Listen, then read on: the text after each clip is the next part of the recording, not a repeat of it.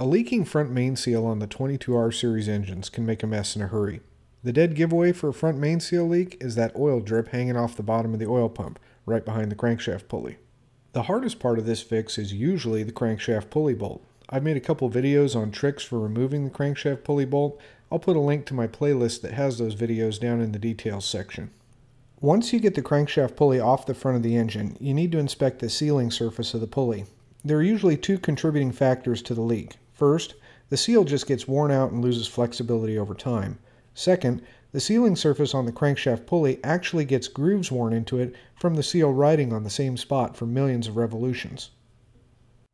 Once you get the crankshaft pulley off, you can replace the seal without removing the oil pump. However, I actually recommend that you pull the oil pump to do this repair.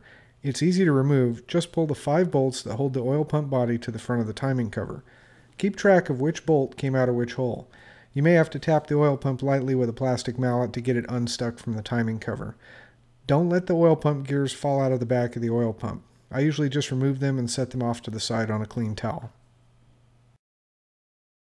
If your crankshaft pulley has grooves in it and you put a new seal in, it's probably just going to leak past the grooves.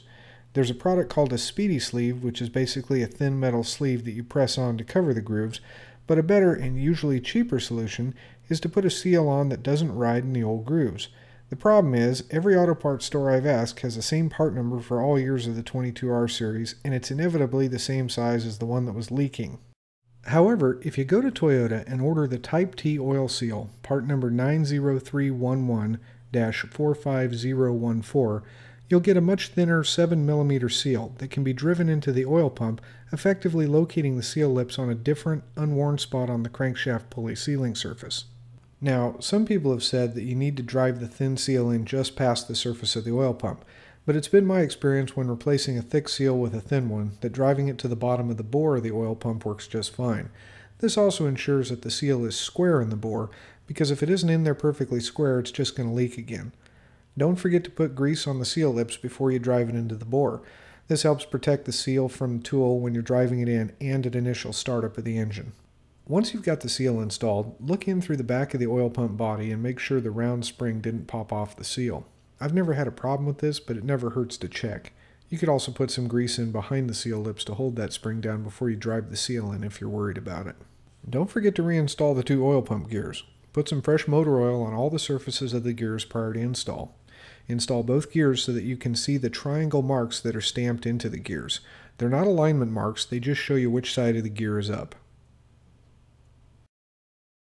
There's a funky shaped O-ring that seals the oil pump body to the timing cover. The timing cover has a groove in it that this O-ring sits in. The flat back of the oil pump housing presses against it to make the seal. It's a good idea to replace that O-ring if you're this far into the engine.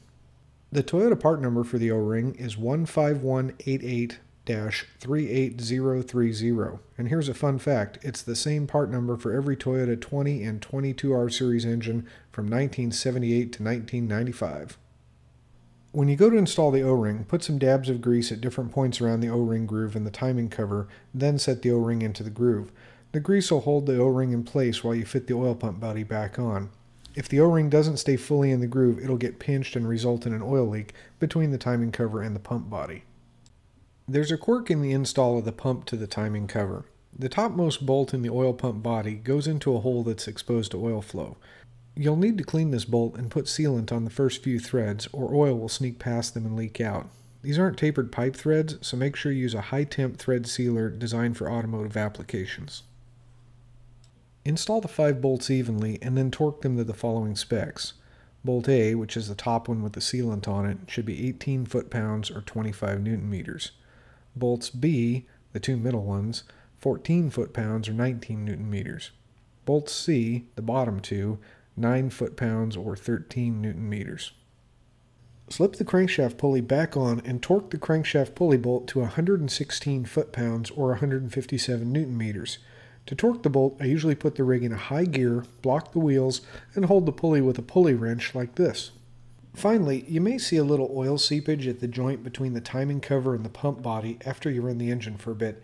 That's okay, it's usually just the oil and grease that was on the surface of the pump body where it bolted to the timing cover getting squeezed out. If it continues to leak after a few trips, I'd suspect the O-ring didn't seat correctly in the groove of the timing cover and got pinched. If that's the case, you're going to have to pull it apart again and put another O-ring in. Thanks for watching. If Toyota trucks are your thing, check out the playlist of my other Toyota truck related videos. As always, thumbs up votes, sharing on social media, and new subscribers all help encourage me to keep making more of these videos. Thanks.